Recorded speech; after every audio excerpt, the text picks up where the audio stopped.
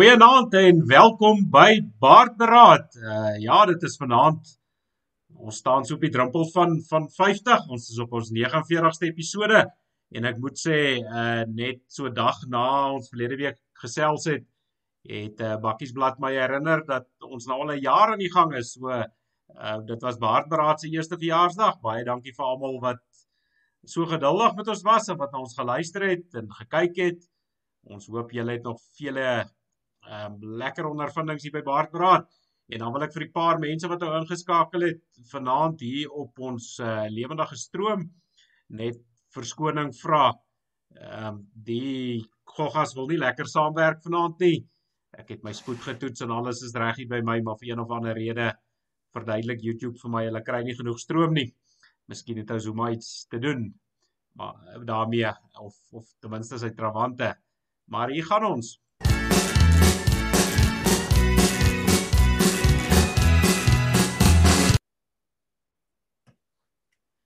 As hy vanaand het ek weer, ek wil nou amper sê splinter nuwe gas. Uh ook Johan, uh baie welkom hier by Baardraad Johan. Baie dankie Alwyn en baie geluk met jou uh, eerste verjaarsdag en mag jou 50ste episode ook dan 'n baie mooi ene wees. As en hy... baie uh baie dankie vir die luisteraars en ek hoop julle kyk kuier lekker saam met ons en uh waardeer en geniet die program. Dankie Alwyn. As hy baie dankie. Ek wens dit was my eerste verjaarsdag of ma, soos dinge deurmekaar is in die wêreld weer. Dis ek maar beter is, is nie my eerste verjaarsdag nie.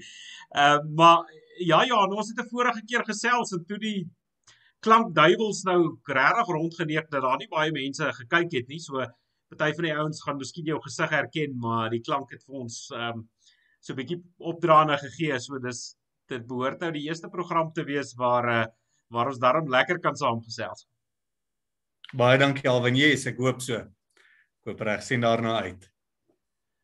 As hy kom ons skop sommer af met ons borg want uh vir se program want dit is nou sommer uh 'n lekker inleiding tot ons gesprek. Ons borg vanaand is Kerkhof begrafnisdienste en daar kan jy vir Johan Greiling, dit is op ons gas vanaand, jy kan met hom gesels by uh, as jy hom skakel op 083 302 2787 en uh Johannes is die ou wat jou gaan plant. En um, hy sê hy werk opsaaklik hier in die Wesrand maar hy sê vir volksgenote sal hy so 'n bietjie verder ry. Hy werk gewoonlik so 150 km radius hier, hier om Kreersdorp se kant. Uh maar vir volksgenote is hy wel is jy ook welkom om te skakel dan sal hy so 'n bietjie verder reis. As hy maar Johan Ja alwen uh Ekskuus, as ek net daarby kan aanval. Ja, weet jy, jy kan ook nie altyd uh beplan waar jy gaan afsterwe nie want ek moes nou al in uh Pietersburg en in Nelspruit al mense gaan haal het. So ja, dit is ook maar relatief. Dit is nie dat 'n ou kan beplan ook waar die ongeluk jou gaan tref nie. Ehm um, en da, die uh daardie dag jou gaan inhaal nie. En uh so dan ja, dan is dit maar relatief ook die ryery waantoe ook al en waar die mense wil hê ons moet die begrafnis dan ook doen. So dit hang maar nou af. Ou kan dit nie bestel nie, nê. Nee.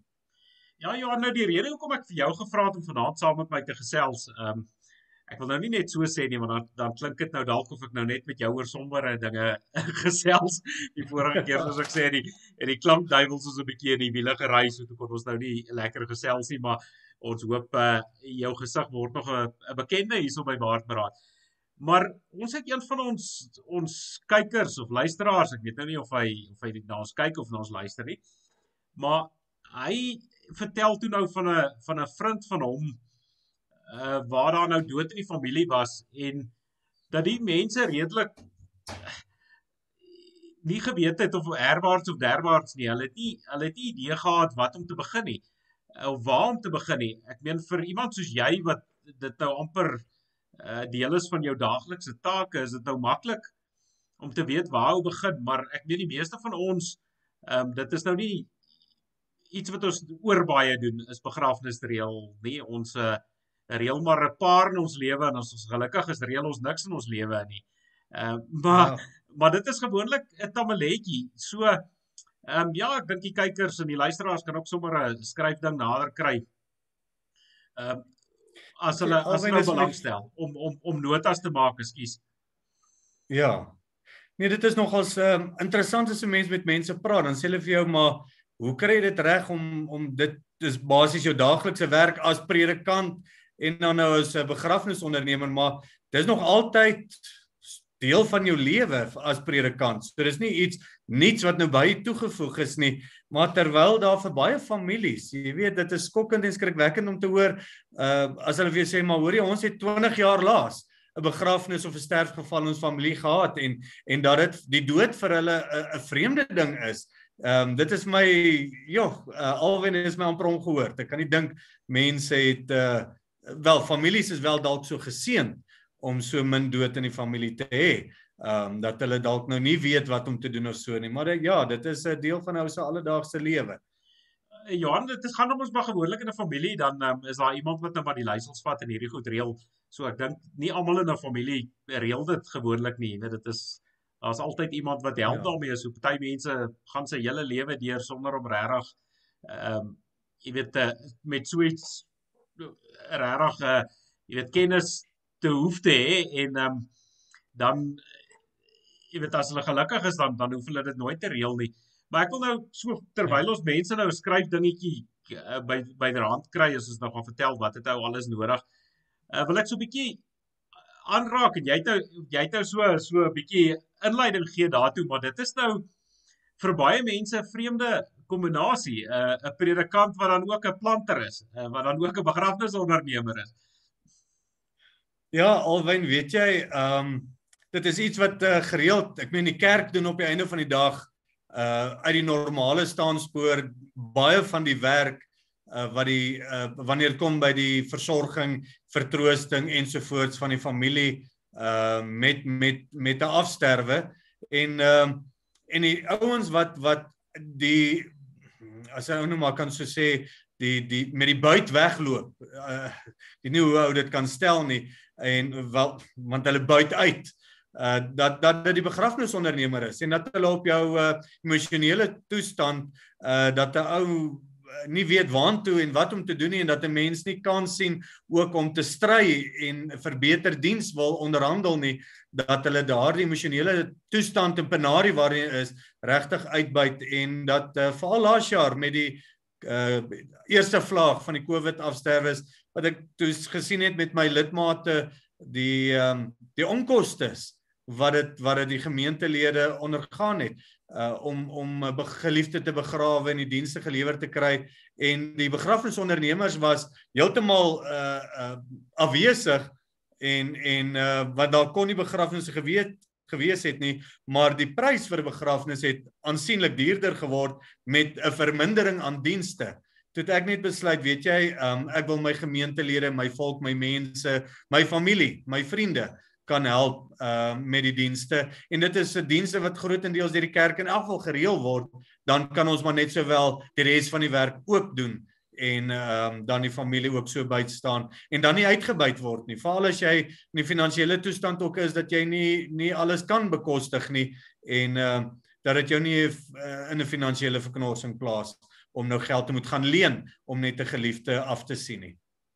Ja, ek wil nou sommer by voorbaat ehm um, ons onsensitiewe Baartman wil sommer uh by voorbaat om, om verskoning vra vir tyd van die vrae wat ek gaan vra, maar ons moet daarom so 'n bietjie lag. Die dood is 'n ernstige saak, maar uh ons ons moet daarom so nou dan 'n bietjie lag en lag vir onsself anders uh sal ons erg depressief raak. Uh, nou Johan, ons, jy weet ek is nou as 'n klein boer het al dit oorgekom dat ehm um, weet ons ken nou van 'n geplantery en maar partykeer as jy nou saai dan sit jy nou jou saad te diep onder die grond en dan kom hulle nou nie op nie. So ek weet nie as jy nou begrafnisondernemer is, ehm um, word jy geleer hoe diep jy moet jy nou die ouens plant. Jy weet moet jy hulle nou diep, diep genoeg plant dat hulle nie opkom nie want ek het dit al met die boerdery reg gekry. nee, kyk albei. Ja, jy moet nou wragtig nie jou saad gaan begrawe nie. Dis nie plan nie. ja. ja. Nee, kyk. Maar Johan, as iets wat ons nou nou baie mee mees ehm um, of of te veel van ons nou deesdae mee te doen kry is is die afsterwe van 'n geliefde. Ehm um, ek weet hier by ons het ons nou 'n groot vlaag gehad en hierdie geelgriep het groot happe uit ons gemeenskap gevat. Ehm um, ons het nou die dag so getel ek hier van van mense in Randfontein net mense wat ek ken en ons weet nie in die Wesrand het oor die algemeen deurgeloop daar's redelik baie mense wat wat ehm um, gesterf het as gevolg van die geelgriep en ek hoor die ouens sê daar begin dit nou ehm um, in die Vrystaat begin die ouens ook nou begin ook nou nader aan die huis raak. Ehm um, daar begin die ouens ook nou ehm um, weet meer gereeld sterf as wat hulle gedoen het hier by ons. Lyk like my ons is daarom oor die ergste.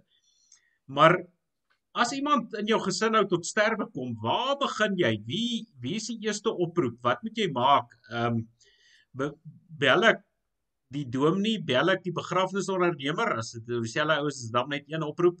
Ehm uh, moet ek die polisie in kennis stel? Waar begin dit? En ek moet iewers seker die die dood registreer. Jy weet maar as as so iets gebeur in jou huis, dan dan is jy soos jy sê, emosie speel tog 'n groot rol en nou is gewoonlik nou baie emosioneel, maar waar dit wat wat baie van hierdie goed wat ou nou dink jy ken die antwoord wat jou nou laat vergeet. So wil jy nie ons net reg help nie. Waar begin jy? Wat is die eerste ding wat jy doen?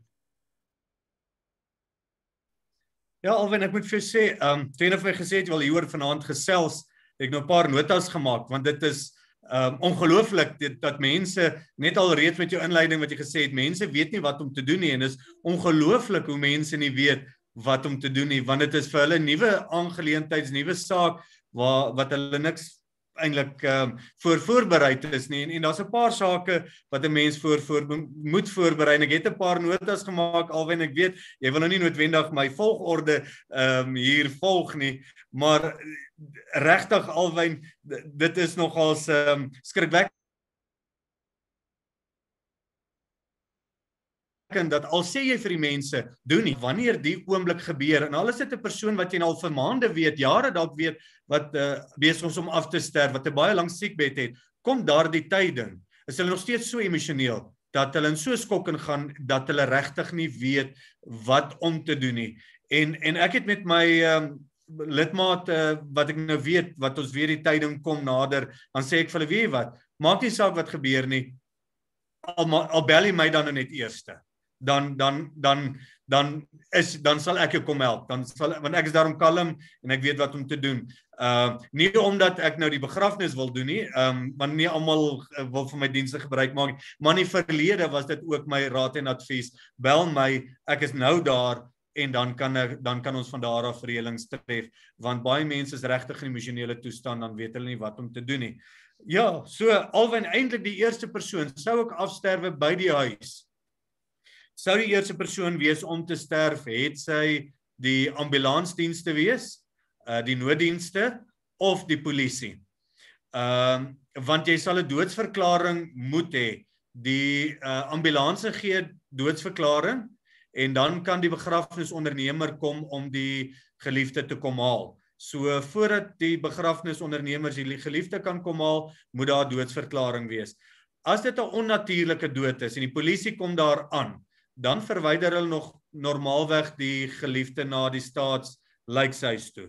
En normaalweg wil hulle dan 'n nadoodse ondersoek doen. Ehm um, met so wanneer hulle voel dis nie 'n normale sterfgeval nie.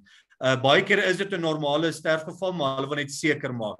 As jy weet jou geliefde het 'n baie lang geskiedenis uh van van 'n siekbed en daar is dokters wat gereeld na jou geliefde omgesien het, moet dan nie die polisie bel nie. Uh bel dan dan 'n uh, ambulansdienste want ehm uh, sodat die ambulansdienste anders dan hoef jy nie 'n nadoetsondersoek te laat doen nie. Ehm um, want dit is my regtig baie kere onnodig dat jou geliefde um 'n nadoodse ondersoek moet ondergaan. Dis nie dis nie aan te beveel nie. Ek wil nie op die detail daarop aangaan nie, maar alwyn ek sal nie wil graag hê 'n geliefde van my moet 'n nadoodse ondersoek deurgaan nie.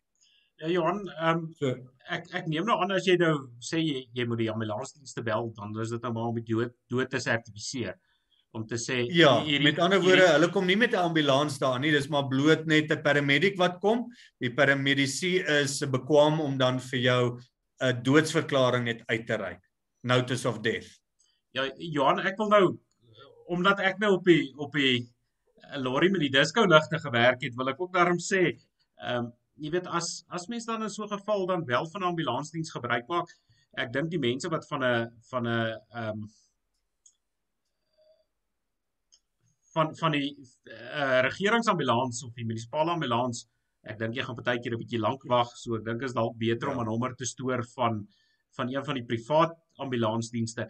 Maar ek dink 'n ou moet daarom sê, uh jy weet sê wat het gebeur sê jy dink die persoon is oorlede en jy gee al jou besonderhede daarvoor dat die ouetjie wat daar by jou uitkom weet waaroor dit gaan. Ehm um, jy weet ja. hoekom ek dit sê is anders stuur hulle gewoonlik as dit nou 'n ernstige geval is en sal hulle een van die vinnige karre stuur en 'n ambulans agterna, maar vir privaat dienste ja. betaal jy vir alles, dan gaan jy vir ambulans betaal en vir die kar. Ehm um, en jy gaan klomp ekstra kostes, onkostes aangaan wat jy nie noodwendig wil nie. So sê dit net is om 'n dood te sertifiseer. Ehm um, jy weet dit help ook. Ek dink ook daarom aan die mense wat op die ambulanse werk. Jy weet gewoonlik as jy op 'n ongeval uitgaan dan ehm um, jy weet dan se ou maar gewoonlik 'n bietjie haastig en nou ry met ligte en sirenes en jy weet ou ou stel maar tog in die verkeer stel jy jou jou eie lewe is maar 'n bietjie gevaar die ou wat nou die die kar ry en die ambulans ry ehm uh, maar dit kan baie keer ook maar vir ander mense op die pad gevaarlik wees so sê net hoekom jy hulle bel sodat hulle net weet ehm um, wat hulle moet stuur en jy weet dat hulle nie noodwendig hoef hoef te jaag en haastig te wees nie. Ja.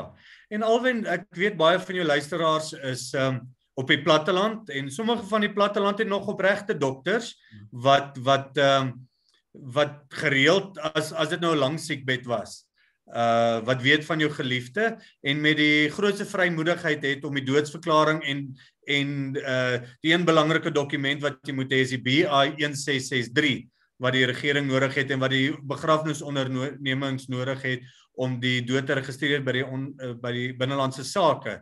Um so as as jy 'n goeie verhouding met jou dokter het, jou huisdokter het of wie ook al en hulle is bereid om vir jou die BI 1663 in te vul, dan is dit nie nodig want ek het wel byvoorbeeld hier uh, op sy verbild al eintlik op pad Durban toe het ek 'n geliefde gaan haal en uh die dokter was uh meer as uh, bereidwillig om die familie te help om die dokumentasie omdat hulle weet van die siekbed en dit was 'n baie lang siekbed en dan dan was dit nie 'n probleem nie.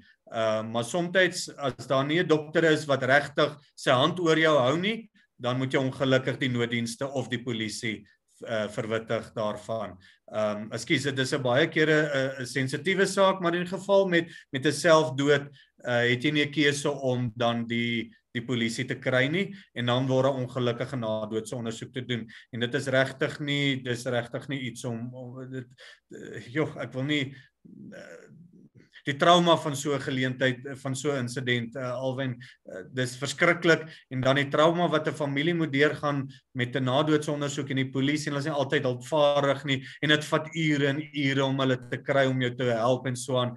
Ehm um, regtig, joh, ek moet sê uh, selfdood is in in geen opsig 'n 'n mooi uh, situasie nie. Die ehm um, trauma wat jy die familie uh, na die tyd op deurstuur is is verskriklik. Ehm um, en en uh, ek weet vir die persoon wat dit self oorweeg ook dit is 'n baie traumatiese uh, aangeleentheid en so aan. Ek ek wil ook nog nie baie daarop uitwy nie alwyn maar ehm um, regtig sjoe dit dit is baie hartseer.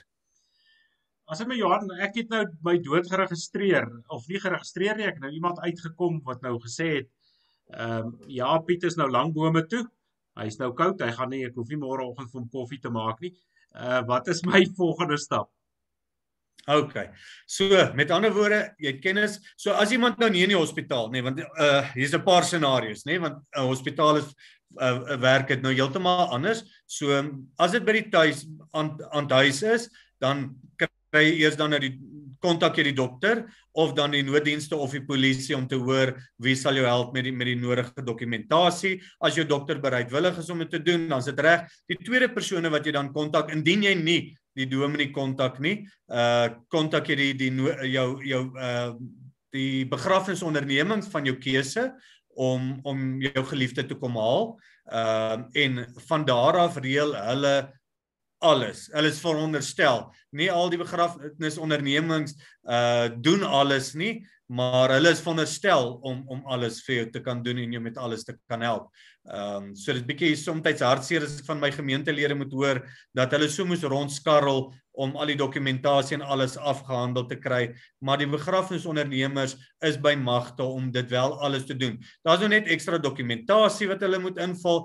Uh, hulle kan wel namens jou binnelandse sake toe gaan, maar daar's dokumentasie wat hulle van jou af en toestemming wat hulle van jou af moet kry en verklaringe wat hulle van jou af kry, maar dit is net kwessie die tekening van 'n briefie en 'n klein dokumentasie dokument en en hulle kan jou daarmee help sodat jy nie hoef rond te hardloop nie, dat jy kan rustig die geleentheid gebruik om uh, afskeid te neem van jou geliefde en en uh jou familie uh in kennis te stel en die nodige reëlings te tref vir die begrafnis of verrassingsdiens wat dan sou volg. So eerstens dan die nooddienste, dan tweedens jou begrafnisondernemer om die liggaam te kom verwyder indien die uh, polisie dit nie sou doen nie uh dat hulle wel vir jou sê hulle is rustig dat die ambulans of die dokter se doodsverklaring uh voldoende sal wees. Dit hang nou maar van scenario tot scenario of jy die polisie sou wou bel of uh 'n uh, 'n uh, uh, paramedici sou bel of jou dokter sou kontak.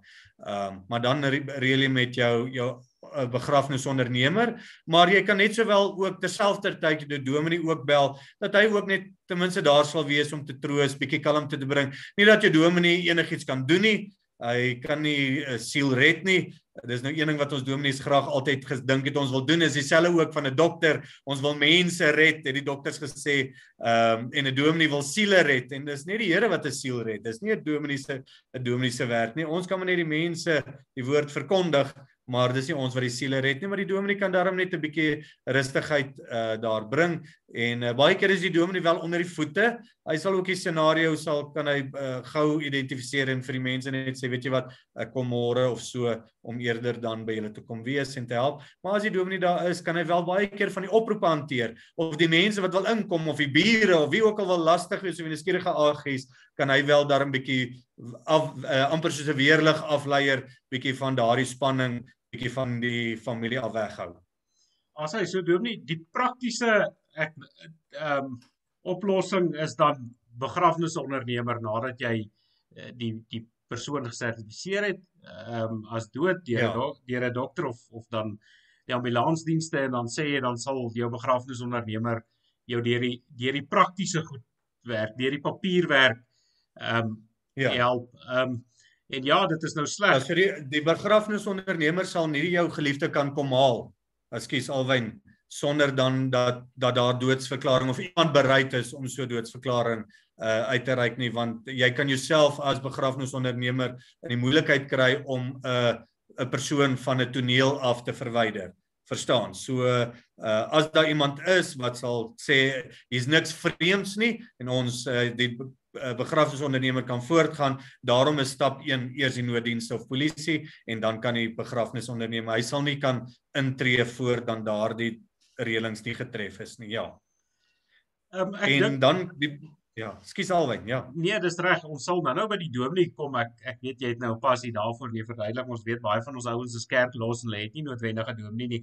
Maar ek wil gou-gou net eers stil staan voor ons by daai gesprek kom ehm um, oor oor die praktiese reëlings. As jou as jy nou na jou begrafnisondernemer toe gaan, wat gaan hy nodig hê? Ek neem aan ou gaan seker 'n ID dokument van die geliefde nodig hê. Jy gaan seker ehm um, 'n begrafnispolis dalk jy weet die, die goede moet kry. Ehm um, jy weet so wat gaan jou begrafnisondernemer alles nodig hê?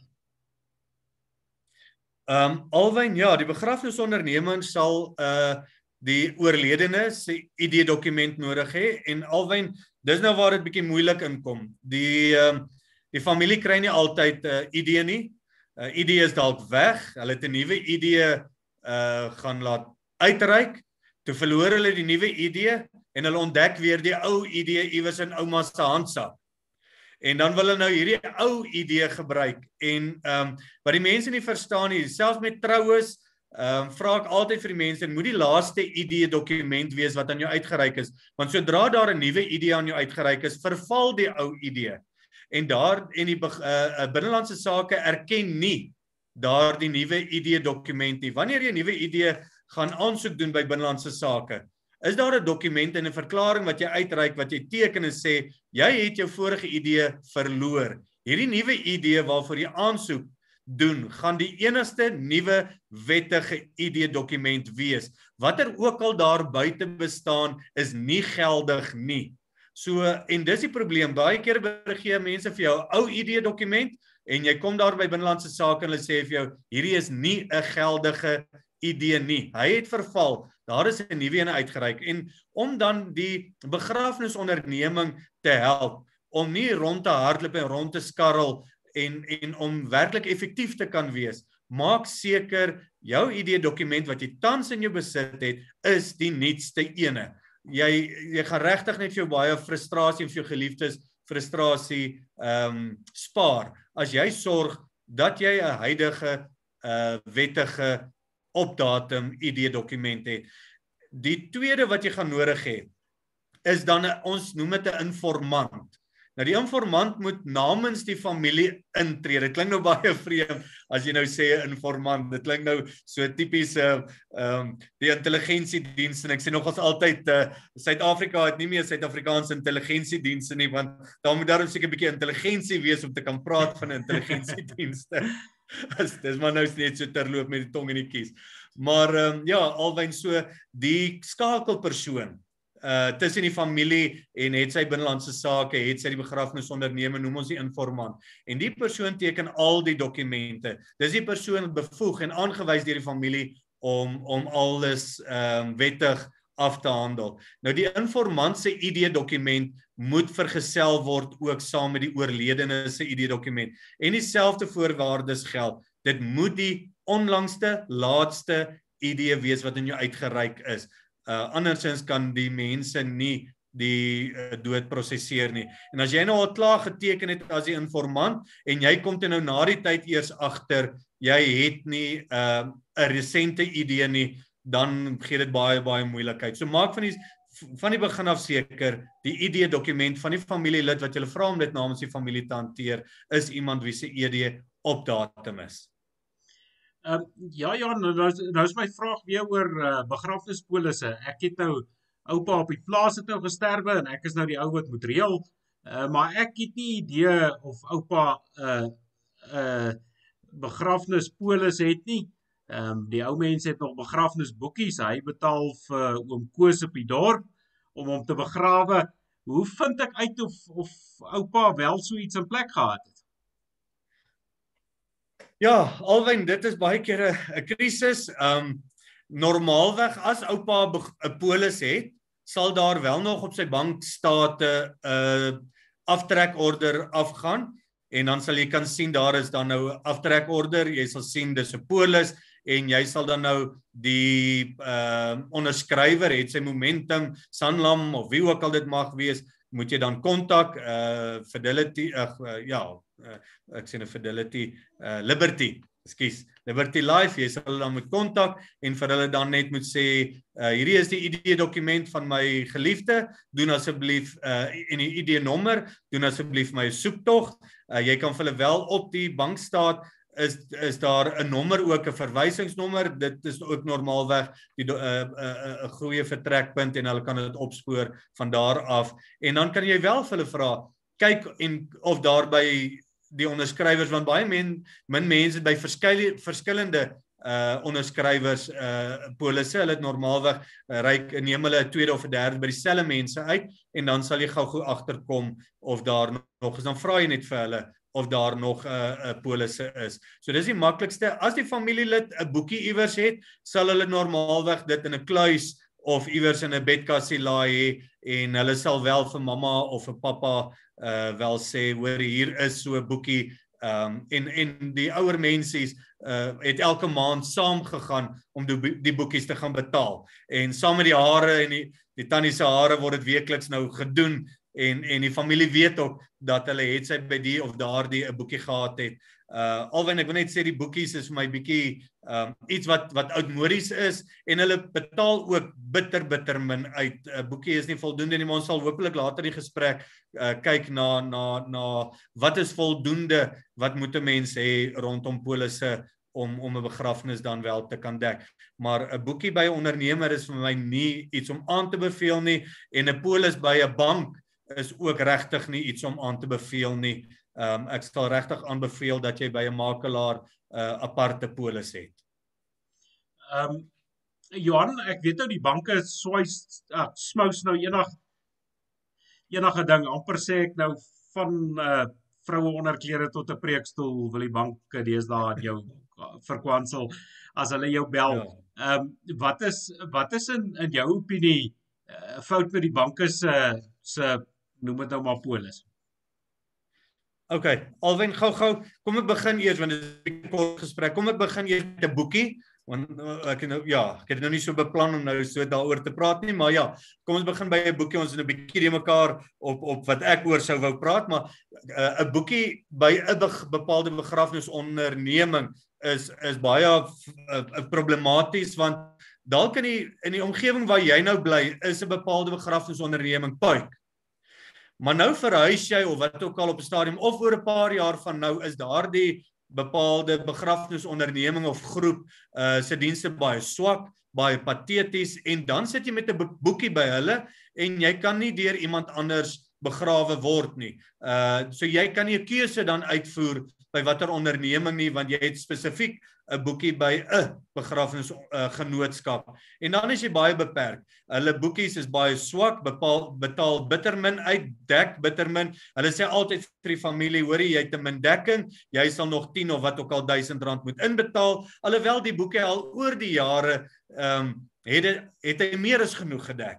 Maar hulle het nie op uh die die die die boekies het nie op datum gebly met die uitgawes nie en dit is 'n groot bedrogspel wat hulle nou mee ingaan en ehm um, eintlik moet hulle die volle ding kan dek en hulle sê net vir jou sorry meneer mevrou jy het nie genoeg samedekking nie. So ek sal regtig afraai van 'n boekie ehm um, en 'n boekie betaal glad nie kontant uit nie alhoewel daar veronderstel was om 'n kontantwaarde uit uh, aan daaraan gekoppel te wees kom meeste van die wel ek sê nie meeste almal van die uh, begrafnisondernemers en sê vir jou nee nee die boekie dek 'n kus blaadjies en blomme wat nie uit finansiële uitkeerwaarde het nie. So as jy nie my kus of my boekie of my blomme wil hê nie, my blaadjies wil hê nie, uh kry jy absoluut niks nie. Hulle gee vir jou dalk 1000 rand of so, maar uh net om van jou ontslae te raak. Hulle sê die res van die fondse is opgevreet deur admin fooie en personeel fooie ensovoorts ensovoorts en dan kry jy nie 'n sent van al die jare se opdok in daardie boekie nie.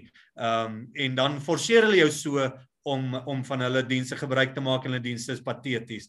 Uh ek kan regtig vir jou sê dis skokkend en skrikwekkend wat daar buite aangaan en en jy's so emosioneel en jy weet nie wat om te doen nie. En nou sit jy in 'n verknorsing want jy het nou altyd gedink hierdie by, uh, hierdie genootskap gaan jou kom help en nou sien jy hulle dienste swak en nou dink jy maar daar was daar 'n geldjie gewees en nou is daar ook nie 'n geldjie nie en nou sit jy letterlik in die middel van nêrens tussen die boom en die bas. En dan skarrel jy rond en nou moet jy sukkel. So dan dink jy by jouself ja maar ek het uh, by sekere bank uh, banke is daar by jou chequerekening outomaties begrafnisdekking en hulle verkoop dit ook so aan jou en jy het 'n maandelikse fooitjie wat jy betaal by die bank, banke Maar alwyn, dis ook maar 'n skelmstreek want hulle forceer jou dan om 'n boedel te registreer. So ouma en oupa kry maar hulle staatspensioentjie in die bank inbetaal. En hulle het nou 'n chequerekeningkie en dalk is daar nou maar wel 'n klein ou beleggingkie wat maar dalk 'n 2000 randjies inbetaal in uh, mamma of pappa se se bankrekening en nou het hulle chequerekening en hulle dink daar is dan nou 'n begrafnisdekking wat jy nou by jou uh, bank uh, het.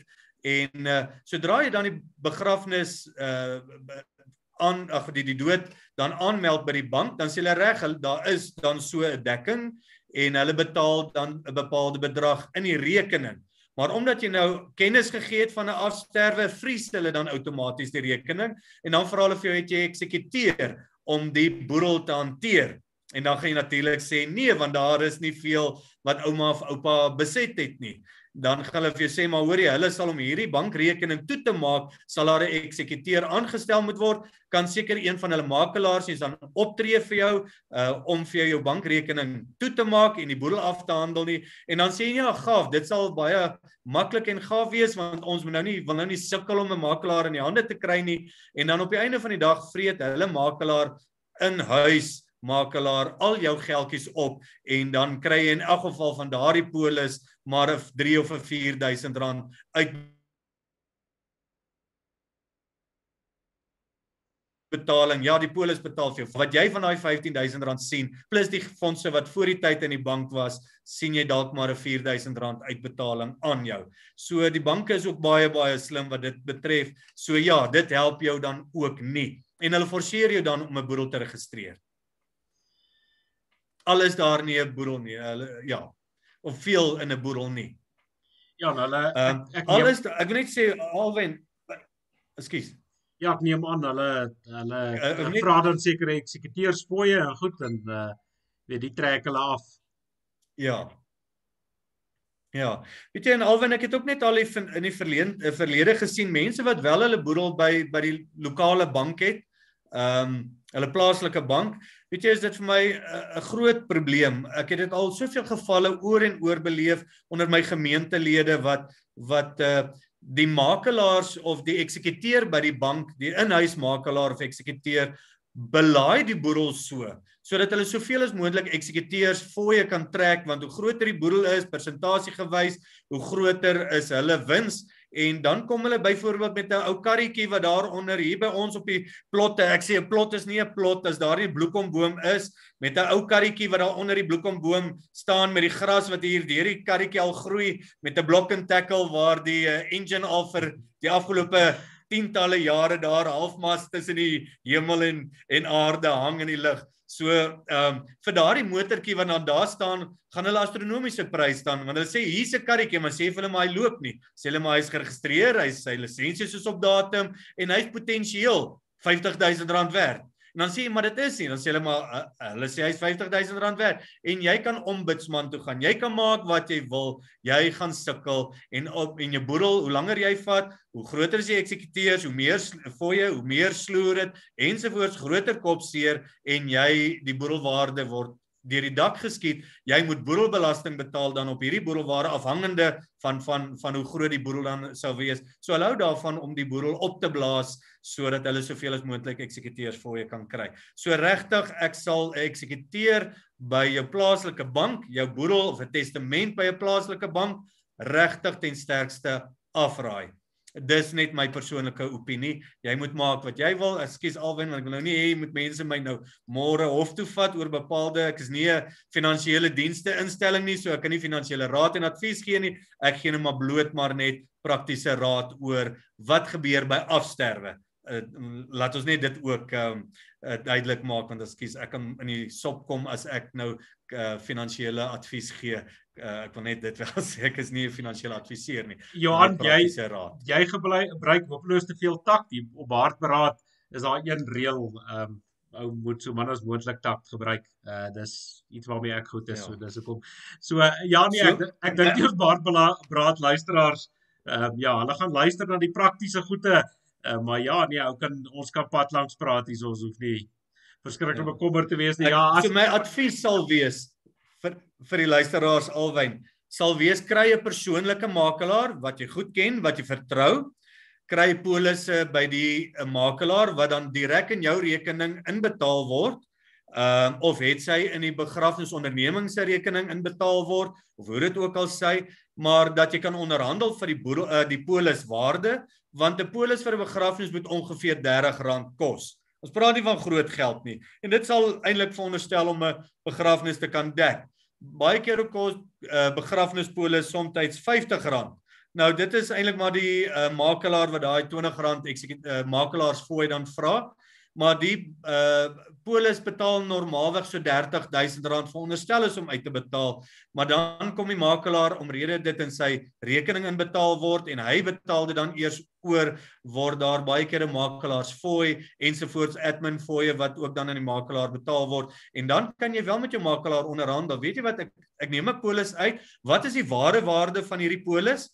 En onderhandel, wees eerlik met jou makelaar en laat hy of sy met jou eerlik wees. Wat gaan sy fooie wees wat hy gaan kry op die einde van die dag en wat gaan jy in jou sak kry? Ehm um, en laat hulle vir jou opskryf sit. Wat gaan jy op jou in jou sak kry vir uh, wanneer die polis dan uitbetaal, wanneer die dood wel nou sal intree en dan kan jy regtig ehm um, eerder dan met daardie kontant in jou hand na die begrafnisondernemings toe gaan en omdat jy kontant in die hand het, kontant is koning, kan jy dan vir baie beter dienste ensovoorts onderhandel. Ehm um, en en ek dink dit gee vir jou dan die mag in die hand om te kan sê, weet jy, ek is nie afhanklik van swak dienste nie. Ek kan daarom goeie dienste dan afkoop uh met die geld wat in my hand is. So regtig, my aan uh, ek sal regtig aanbeveel dat jy met 'n makelaar hieroor handel. As jy wel nog by Absa of by watter bankdienste wel 'n uh, 'n uh, 'n uh, begrafnisdekking het, weet net dit gaan nie voldoende wees nie. Uh kry asseblief begrafnisdekking uh by 'n makelaar sodat dit nie nog belas word of gekontamineer word nie. Dis net my persoonlike opinie. As Johan, as iemand nou nie 'n polis in plek het nie, jy het nou familielid wat gesterf het en daar's nie 'n polis of enigiets in plek nie. Ek neem aan begrafnisondernemers plant nie mense op skuld nie. Ehm um, jy weet 'n ou moet dan seker maar die geldjies bymekaar maak en by almal gaan gaan bedel, maak soos in Afrika maak. Uh jy weet almal moet help begrawe. Ehm um, maar wat kos 'n uh, begrafnis? Ek weet dit is nou amper 'n uh, vraag om te vra hoe lank is 'n stuk tou? Want dit hang nou ja. af van hoeveel mense is is daar en ehm uh, jy weet of jou kus nou met goud uitgelê is en al hierdie goed. En ek weet ons maar plotters begrawe goedkoop. Ons uh, draai jou sommer 'n halwe kombers of 'n kombers daar daarmee halwe kombers jy moet ons te dik vir halwe kombers. Maar draai jou kombers op en gooi jy in jou gat. maar, maar wat wat is die gemiddelde koste van ehm, 'n um, begrafnis? As ons min of meer kyk as ek sê dit ek weet dit hang nou af van die kus en die klas van dinge en dan is daar baie keer fooie wat mense daarom in gedagte moet hou. Ons het nou nou het jy gepraat oor predikant ja. maar baie mense het nie noodwendig 'n kerk en 'n dominee nie maar ons weet mos daar's drie goed wat mense wat nie kerk toe gaan nie wil doen as hulle wil doop by die kerk uit. Ook nie deesdae so baie nie maar hulle wil definitief trou uit 'n kerk uit hulle wil definitief geplant word uit 'n kerk uit So daai kostes is is uh kostes wat mense nie altyd in ag neem nie. Hulle dink die kerk gaan vir die plan. Ehm uh, so so min of meer nou net om om vir mense idee te gee as suits nou gebeur, wat wat is die koste daaraan verbonde? Ja. Alwen ehm um, dit kom nou juist dan op by 'n punt wat ek nou amper vergeet het, is wanneer jy met jou makelaar onderhandel ten opsigte van 'n polis dateer jou polis gereeld op want die onkoste is 'n begrafnispolis groei nie. Hy's nie soos 'n pensioenpolis of so ensovoorts of 'n lewenspolis wat dalk kan groei nie. Begrafnispolis staan vas. So met ander woorde, jy het nou dalk 21 jaar terug uitgehaal en hy gaan dan 20 jaar terug se se dekking net hê en dit gaan nie voldoende wees nie. So mense moet net seker maak dat jy wel gereeld met jou makelaar praat vir die onkoste. Nou alwen ja, begrafnis kos nie so duur nie. Ehm um, dit dit is nie heeltemal dit daar's 'n maklike antwoord. Is daar nie so hoe lank is 'n tou nie, nê? Ehm um, want daar is bepaalde kostes, maar 'n begrafnis is veronderstel om nie veel meer as R15000 te kos nie. Dit hang nou af of die begrafnisondernemer 'n huis by die uh, by die see het buite vir sy hu plaaslike huis en hoeveel Mercedes en voertuie staan in sy motorhuis. So dit hang nou maar van die begrafnisondernemer se hoë lewensstandaard en le hoë lewenswyse. Uh, maar 'n begrafnis ver veronderstel om om so R15000 uh te kos. As jy meer as R15000 betaal, moet jy weet dit is dan nou die paemente vir 'n vir 'n huisie op Struisbaai of uh elders dan nou vir 'n ekstra hoë lewens uh leefstyl van die van die ondernemer. So dit hang maar daarvan af alwyn. Maar ja, dis nie veronderstel om meer as 15 te wees nie. Inteendeel, ek is baie goedkoper as 15, maar ek wil nie ek wil nie die ander mense in die bedryf nou verskriklik in die voet skiet om te sê, maar maar dit 20000 rand se begrafnis is regtig jog, dan moet jy dan moet jy amper uh, kreef en en seekosse uh dan teenwoordig hê by die by die broodjies na die tyd en dan moet jy wragtige venter trailertjie hê wat jy saam met jou afvat graf toe. Ehm um, dit kan regtig nie 'n begrafnis kan nie 20000 rand kos nie. Ja, ek wou nou sê, dan moet um, onder die begrafnisondernemer sorg vir die begrafnisbroodjies en nie die familie en die en die kerktannies nie. Ja, ja. So alwen ja, as jy dan nou nie 'n kerk het nie, ehm um, kom ons sê jy is dan nou 'n 'n 'n kerklose. Ehm um, nou die die die kostes normaalweg dis nou hoe lank dis wel hoe lank is dit tou? Uh predikante se onkoste. Sjoe, alwen. Ja. Jou eie opregte mm, reggeaarde predikant sal dit vir jou gratis doen. Uh as dit dan nou nie 'n predikant is wat jy geken het nie, jy was nie in die kerk nie, ehm um, dan sal 'n predikant enigiets van R1000 af of R700 tot R1000 vra vir 'n reggeaarde predikant wat om 'n persoon maar kan sê dis dan nou no, ja, 'n uh, meer reggeaarde predikant. Ehm um, maar dan is daar predikante wat tot 5000 tot uh en op vra vir vir 'n diens. Dis ongelooflik vir 'n troue ook. Uh adverteer die dominees hulle self vir R5000 op en so om 'n huwelik te bevestig en dit is vir my skokkend. Ek meen, ehm um, ek doen dit vir die liefde van die saak. Ek kry my salaris of my traktement by my gemeente. Hulle sorg mooi vir my en en ek het nie nodig om dan nou nog verder mense uit te byt vir uh, sodanige huwelike en begrafnisdienste nie. Dan is daar 'n oralis. Die oraliste vra normaalweg alwen enigiets van uh wel hier op die platteland is die oraliste nog baie goedkoop en baie geliefd. So hulle doen dit ook baie keer vir die liefde van die saak as 'n gemeentelid is. As jy nie 'n gemeentelid is nie, enigiets van R400 af tot so uh joh, ek het van min oraliste al gehoor wat R1000 vra. Dis 'n bietjie ongehoord, maar ja, R400 tot R800 uh, is is regtig ehm um, standaard tarief. Uh dan is daar kosterfooi dat jy moet sorg die kerk is oop, kerk is netjies, die kerk is skoon wat baie keer dan die uh die klok vir jou moet lei. Die mense wil daarom ook 'n uh, 'n uh, skyfie vertoning daar by die kerk hê met musiek ensovoorts uh wat die familie wil graag hê daar vertoon moet word en uh die kosterfooi is normaalweg ook dan enigiets van 400 tot 800 rand wat die kosterfooi is. As die NHSV of die dames dan 'n broodjie moet maak, alwyn uh, werk ons dit so amper R50 te kop uit want is daarom net 'n toebroodjie as die tannies dit nie skenk nie, werk dit ongeveer so R50 te kop uit. So afhangende hoe groot die funksie is, hoeveel gaste jy het, ja, kan 'n mens maar nou net dan 'n sommetjie daar rondom gaan doen. Uh jy kan tot op so miskien maar afhangende wat jy wil hê, so R80 dalk 'n kop wat die uh die die susters dan vra vir 'n toebroodjie.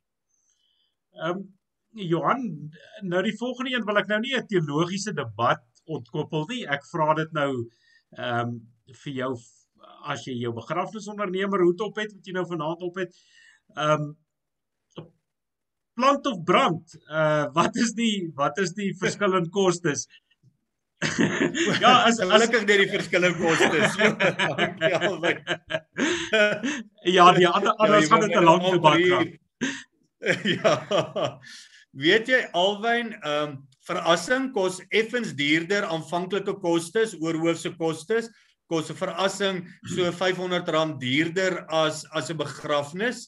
'n uh, graf is goedkoper as 'n uh, verrassingsdienste, maar die dit wat 'n begrafnis duur dan maak is na die tyd die kopstuk uh die grafsteen wat jy graaf wil opsit en dit is ook dan nou relatiewe koste hoe groot kopstuk jy wil hê al dan nie. So uh, so die aanvanklike oorhoofse uitgawes is verrassing so R500 of wat duurder as 'n begrafnis, maar wat hom dan nou duurder maak die begrafnis is net die kopstuk.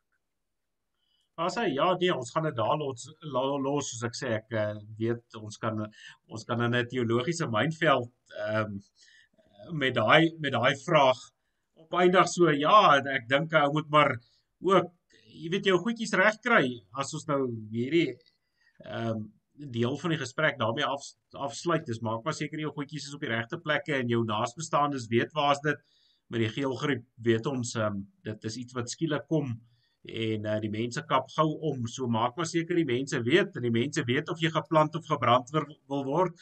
Ehm um, jy weet maak maar seker hierdie goed is reg. Maar Johan, ons het toe ons nou so 'n bietjie vroeër vandag gesels het in aanloop tot die program, is daar tog iets in en um, ek is seker hiervoor wil jy nou nie meer jou begrafnisondernemer hoed opsit nie, jy wil nou weer jou predikant hoed opsit.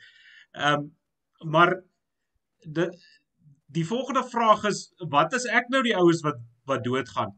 Ehm um, en ek dink een van die interessante goed wat jy aangeraak het wat ek nou nog nie voorheen aan gedink het nie is ehm um, moet ek by die huis dooi of moet ek by die hospitaal dooi? Ehm uh, nou weet ek ons harige boere ehm uh, is is mos maar moeilik vir hospitaal. Ek weet hoe ek nou die geelgriep gekry het my vrou tot versterkings ingeroep hierso van van vriende van my om te kyk of ek by die hospitaal toe wil gaan en ek het sommer vertel hulle gaan uitgedra word by my huis never mind ek. So ek ek verstaan dit ons nie oorlief vir hospitale is nie, maar ehm um, ek weet uit 'n praktiese oogpunt as as mens nou daai daai ehm um, harrekwasheid van ons uit die uit die ehm um, prentjie uithaal. Weet jy Alwyn, ja, ek moet sê baie van my ou plaasmensies het ehm um, het nie begraf uh, het nie 'n uh, hospitaal 'n uh, 'n uh, uh, mediese fondse nie. So hulle kan dan nou ook nie uh, by hospitaal afsterwe nie en hulle wil onder geen omstandighede by 'n staatshospitaal afsterf nie. En en ek het ek het uh, respek daarvoor en ek verstaan ek het verstaan daarvoor en, en oupa of ouma wil graag daar in hulle kamertjie daar op die plaas wil hulle rustig afsterf in vrede. Ehm um, as daar uh, geïsoleerd in 'n vreemde uh, hospitaal en vreemdelinge wat jy moet hanteer. Alwen maar weet wat ek het uh, regtig 'n ander siening die die afgelope tyd want ek het dit altyd gerespekteer van my ou plaasmensies, my ou mensies, my boere daar op die plaas, maar weet Alwen, uh, as jy by die huis afsterf en ek het nou so 'n geval gehad van 'n oomie wat rustig in sy in sy slaap in in die bed dood is. En uh die uh, hartseer is uh ons moes 'n nadoetse ondersoek doen want ons moes kon bewys die oompie is van natuurlike oorsake rustig want hy was jare laas by 'n dokter baie spekvetting gesond ehm um, al was die persoon al oor die 80 jaar oud ehm um, het nie 'n dokter geken nie het maar net die ou bloeddrukpilletjies by die kliniek so af en toe gaan haal en jou suikerpilletjies en dit was maar al wat die oompie mekeer het. En uh ongelukkig alwy nou moes ons 'n nadoetsondersoek uh laat doen en dis 5.500 rand op hierdie stadium vir 'n nadoetsondersoek wat die die familie nie het nie uh, of nie noodwendig het nie. En dis 'n ekstra uitgawe al sou jy dit gehad het dis 'n onnodige uitgawe. So um en en regtig alwy 'n nadoetsondersoek uh, is is nie mooi nie. En dis my hartseer dat hulle geliefde regtig ehm um, so deur so iets moet laat deurgaan. Ehm um, en regtig ek wil regtig vir vir die mensies daar buite vra bly weg, probeer wegbly van 'n nadoetsondersoek. So as jy nog 'n goeie dokter het wat wel op die plattelandse gemeenskap is, wat jou goed ken en wat wel jy weet jou die nodige dokumentasie sal uitreik omdat hulle van al jou mediese geskiedenis gereeld hoor dan en weet uh, dan is dit nie 'n probleem nie. Maar as jy vir vir 5 jaar laaste dokter gesien het en jy kom tot sterwe, gaan hulle nadoodse ondersoek uh vereis. So maak seker alwen dit dit klink nou stupid, al is jy gesond, uh maak die dokter jou beste vriend en gaan gereeld kuier maar vir die dokter, ehm um, sodat die dokter daarom kan weet as jy by die huis sou afsterwe, ehm um, dat hy dat hy die nodige dokumentasie. Daarom sê ek eerder verkieslik sterf af by sterf af by die ehm um, by hospitaal want dan is hierdie uh hartseer nie nodig nie. En dit is nie dat 'n iemand 'n mens dit noodwendig kan beplan of daarvoor dit dit jy, jy kan dit nie bespreek die dag en die uur van jou van jou dood nie alwyn maar sover as mense kan voorsiening tref sou ek sê probeer by hospitaal afsterwe sodat jy die familie hierdie trauma uh van 'n nadoetsondersoek kan kan spaar. En en ja, en en dat dit 'n natuurlike afsterwe is alwyn dat dit nie 'n onnatuurlike afsterwe sal wees nie. Um ek het byvoorbeeld mense wat met gif uh ongelukkig selfdood gepleeg het en jou uh toksiese verslag uh ons ons uh, navorsing ensovoorts is so agter daar rondom die toetsmetodes is so argaïs en uh daar's so dis amper soos met die vuurwapen herlisensiering. Daar is so groot papierwerk en leers wat daar iewers lê op iemand se tafel. Dit vat 2 jaar ongeveer plus het ek nou al gehoor sê die mense vir my om 'n toksiese verslag te kry sodat die nodige polisse ensovoorts afgehandel kan word sodat die boedel afgehandel kan word. En met ander woorde jy sit vir jare wat 'n boedel nie afgehandel kan word nie want daar staan onnatuurlike dood op die doodsertifikaat die polisse weier om uit te betaal tot hulle nie weet hoekom is jy dood? Wie was die skuldige en uh, want hulle gaan nie uh, 'n uh, polis uitbetaal as 'n uh, vrou lief dalk moontlik bietjie ontslawe raak van alwyn. Ons weet nie aldag hoe gaan dit altyd nie uh, alwyn en so.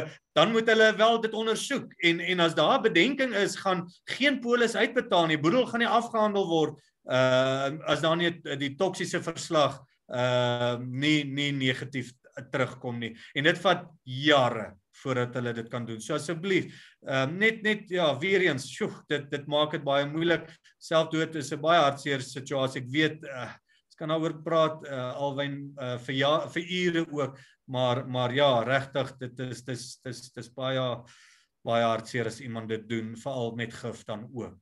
Ja, moet ek moet maar versigtig wees. Ehm um, ja, vir daai grobbelers dalse braaibroodjies vir die mense wat nou die nuus dophou.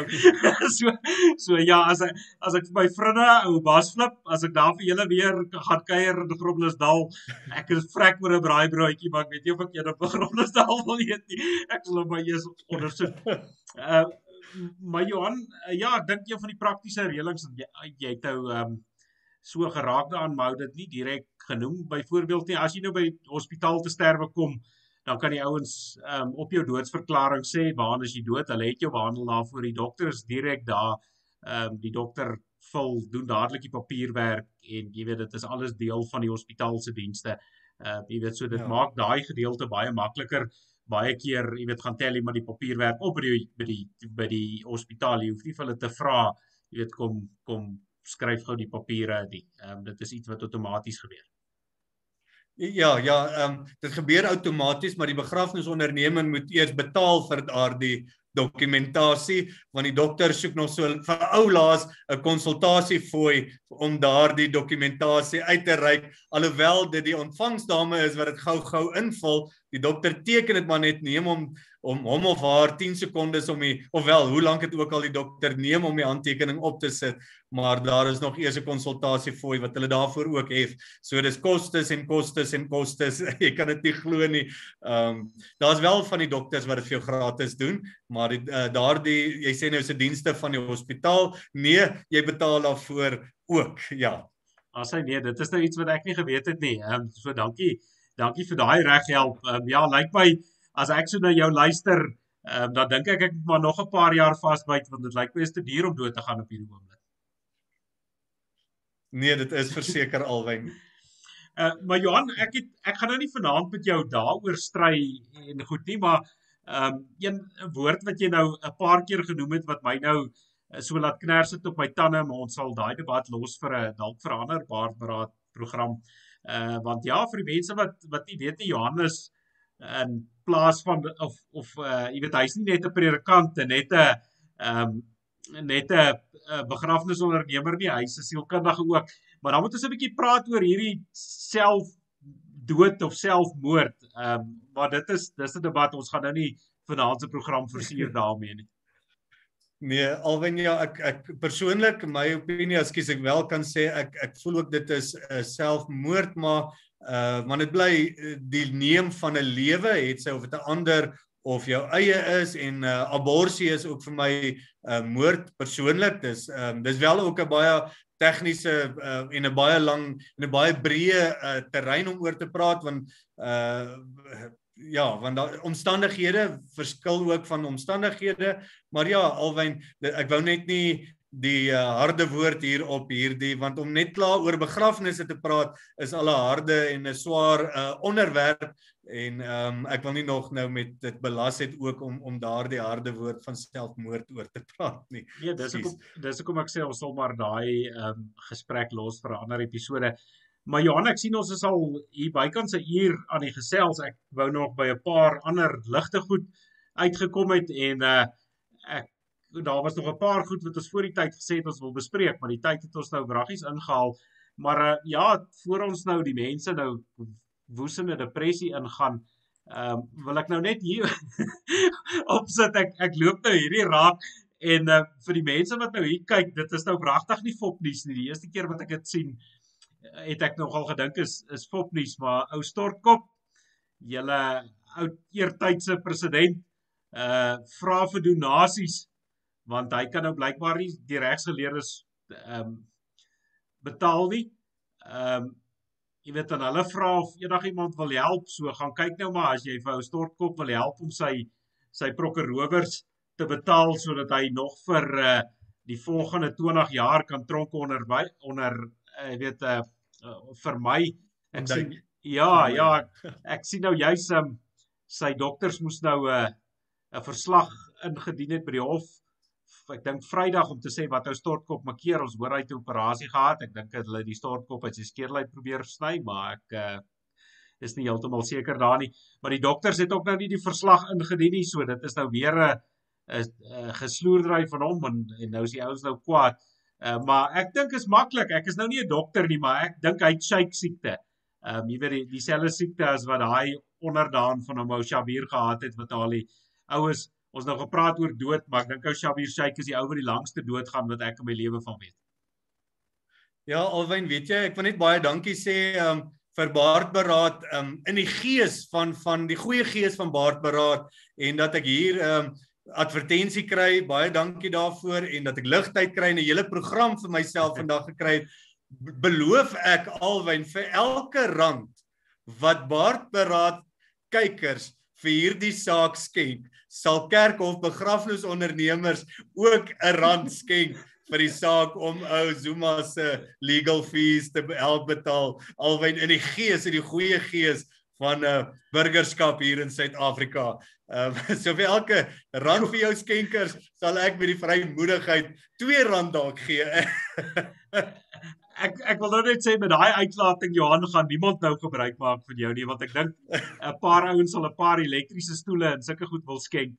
Ehm um, maar blykbaar aanvaar hulle dit nie. Jy weet as as dit nou sy, vir sy begrafnis was dan het ek nou by voorbaat bygedra. maar ek ek weet nie of ek vir sy regshulp wil bydra nie. Nee, ja, nee, ek het die vrymoedigheid om dit te sê want ek weet nie een van jou kykers sal 'n sent gee nie. Um, ja.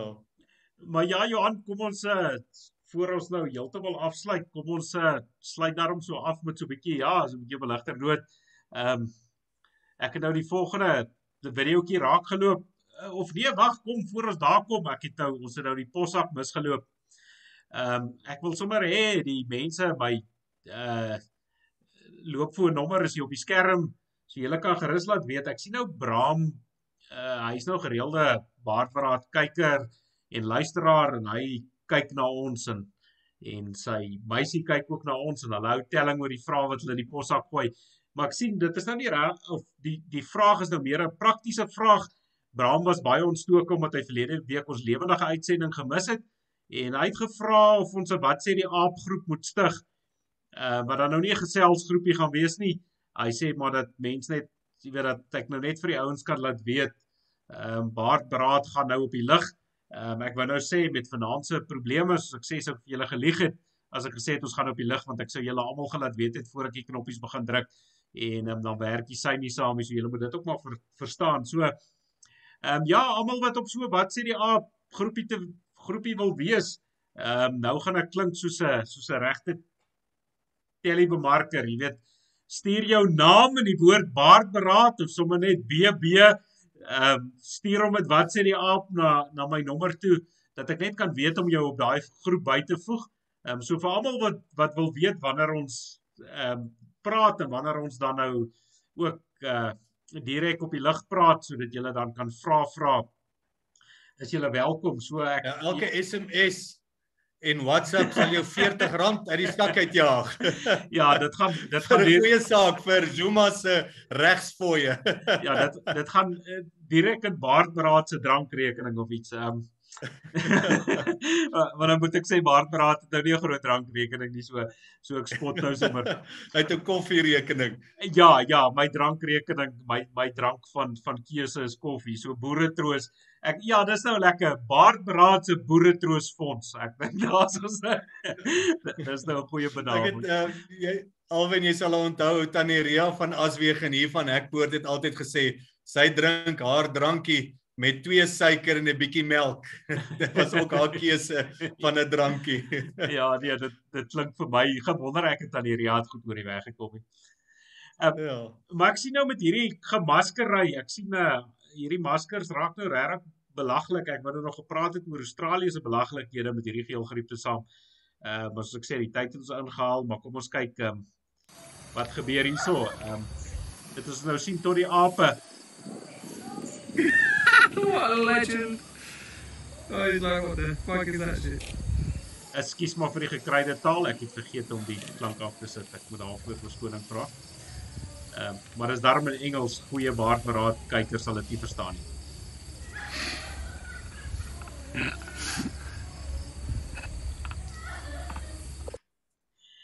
Maar ek dink ja, dit dit is nou skreeu snaaks die aap wat nou die masker opsit. Ehm um, maar ek dink hy's nie die enigste aap ek ek wil nou sê ek dink hy's nie die enigste aap wat permanent met 'n masker probeer oploop nie, maar weet lyk my die mense het die mensdom het nou so ehm um, geraak dat dat nou wragtig ons die die arme diere op die afgrond in lê. ja, albei al dra aap 'n goue ring bly maar lelike ding, maar nou weet ek nie wat beteken dit nou as hy nou 'n masker dra nie. Maar ja, enige aap kan 'n masker dra sê jy. Ja, nee, kyk, um, al dra aap 'n masker is jou beurtes vir die geelgriep gaan jou kry. Ek dink dit is omtrent. Dis omtrent ek sien daar's 'n paar ouens wat net maskers dra wat ook nou die geelgriep gekry het. So daai uh, masker ja. uh, vrywaar jou ongelukkig nie van die geelgriep nie. Ja, nee. Maar Johan, dan het ons aan die einde van ons program gekom. Ek wil vir jou baie dankie sê dat jy dat jy jou tyd ingewy het vanaand en ons hoop ehm um, ek sê jy was daarom so twee keer uit 50 episode se op. Ehm uh, een was nou 'n bietjie glipsie geweest, maar uh ons hoop jy ons ons kan meer met jou gesels in die volgende 50. Baie dankie Alwyn, ek sien daarna uit en baie dankie vir die voorreg om bietjie die kennis wat ek het met die uh, kykers en die luisteraars kom deel en ek hoop um, dit sal bietjie vir hulle leiding gee en uh, dat hulle regtig al vooruit met het sy met hulle dominee het sy met 'n makelaar sal kontak maak en dat hulle weet watter plan van aksie sal hulle volg wanneer hierdie hartseer trauma in hulle huis kom. Dis beter om voorberei te wees alwyn as om na die tyd uh, rond te hardloop en groot krokodiltrane dan te huil. Ja nee, en, uh, soos ek sê, volgende keer as ons gesels dan gesels ons hopelik oor uh, lekker aktuelle onderwerpe, um, soos ons gewoonlik hier op Baardbraad doen en ons lag 'n bietjie meer as wat ons vanaand gelag het vanaand um, ek weet ek het so nou en dan seker is my opmerkings paar tannies gaan dalk met my raas. Uh maar ons moet daarom so lag tussen die hartseer deur. Ehm um, maar ja, dan kan ons oor 'n bietjie iets ligters gesels. Maar ek dink dis ek wil vir jou dankie sê dat jy vanaand jou kennis met ons gedeel het want dit is ongelukkig iets wat te veel van ons mense deesdae deurgaan soos ek in die inleiding van die program gesê het. Ehm um, en ons mense voel verlore en ek dink hierdie inligting sal hulle regtig help om om daarom te weet waar om te begin en uh, wat om te doen en dan ook ja ons hoop al ons Barbara luisteraars is veilig en ons hoop ehm um, julle jy weet julle kyk na julleself maar ons weet ons ons nie een van ons weet wanneer is dit ons tyd nie. So kry maak hierdie goedjies reg ehm um, nou dat jy weet wat nodig is sodat jy dit ook makliker maak vir jou geliefdes wat agterbly. Ek dink ehm um, daar's ons elkeen het daarmee 'n plig om om hierdie goed ook reg te kry Ja, alweer net 'n laaste woordjie van waarskuwing van my kant af, ehm uh, wat die luisteraars en die kykers wel ag moet slaan. Alhoewel ek gesê het 'n begrafnis is veronderstel om R15000 te kos. Moet jy net in gedagte hou, baie van hierdie ondernemers vra nie minder as R20000 of skaars minder as R20000 vir 'n begrafnis. Dalk is daar in jou dorp is die standaardprys R20000 en dan gaan my R15000 riglyn veel ver kort skiet. So regtig, ja, ehm um, maar dis wat dit veronderstel is om te kos. So as jy by jou begrafnisondernemer kom en hy wil meer as R15000 wil hê, dan moet jy weet dit dit dit is wat dis die ekstra uh vir jou dis vir die ekstra wat hy wil hê en hy gaan daarby vas staan en jy gaan dalk sit met 'n uh, uh eier in die gesig dat jy nie die kostes sal kan dek nie. So wees maar net daarop voorberei. Ja, ek dink nader aan die stede is is nie net ehm um, dierder om te lewe nie, is dierder om dood te gaan in die stede ook as wat dit hier bietjie buite op die platteland is. Ehm um, so dis net 'n ja. riglyn, ja. Moet nou nie daarby vas staan nie, maar as jy nou nie 'n begrafnisondernemer het nie, ehm um, kan jy maar vir Johan kontak as jy in so 'n situasie is of vir mense vertel wat dan nou nie weet waar uh herwaarts en derwaarts nie. Ehm um, as ek seker hulle kan vir Johan gesel of met hom kontak. Ons het aan die begin van die program sy telefoonnommer gegee. Maar Johan, weer eens baie dankie. Ehm um, dit is hier alwyn. Ons gesels dan weer en dan vir al die baardberaad kykers. Alles van die beeste en groente op die plaas en uh so vir oulaas op hierdie program moenie te diep plant nie.